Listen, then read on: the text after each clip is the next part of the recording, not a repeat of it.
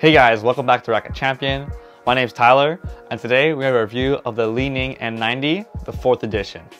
So this racket was promoted by many professionals, the most popular ones being Chen Long and Muhammad Ahsan. This racket is a part of the Mega Power series, which is a series meant for maximum power for really offensive players. This racket comes with a very special case. It's a thermal racket cover that comes with a really nice futuristic design. Getting into the main technology of this racket, it has 3D brake technology, which reduces windage and increases the racket speed. It is made with the classic Li-Ning military grade carbon fiber and comes officially in the red and gray colorway.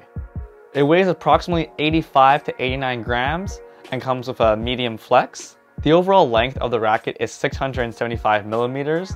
The grip length is 200 millimeters and the bounce point is 292. So you could say this racket is very much a head heavy racket. In terms of stringing, the mains can be strung from 26 to 30 pounds, while the crosses can be strung from 28 to 32 pounds.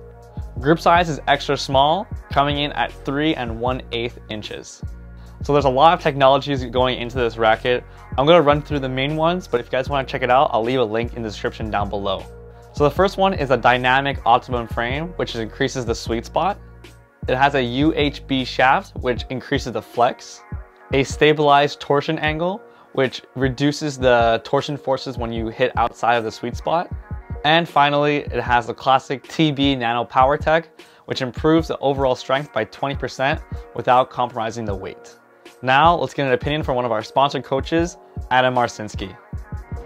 Hi guys, Adam from Racquet Champion here, here with the Li-Ning N90 4th Gen. It's the uh, latest model that they have out right now.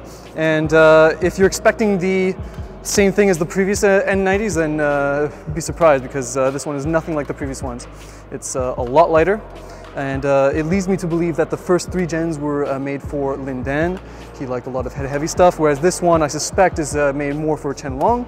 And so this one is quite a bit lighter, more in line with say like the Chen Long N55. And so in that same vein of thought, uh, this one is a much lighter racket, as I said, uh, but still has a lot of power behind it. So uh, there's a lot of control. It takes a little, just a touch to get used to, but once you master that, you can really get a lot of out, out of this racket. So uh, with that being said, I think almost any level of a player can use this. It doesn't take long to get used to, and you get a lot of uh, oomph out of it. Thank you guys. Thank you, Adam, so much for your time and for your opinion on this racket. We hope you guys enjoyed this review. Let me know if you guys have tried out or are planning to try out the Li-Ning N90 4th edition in the comments down below. We'll see you guys next time.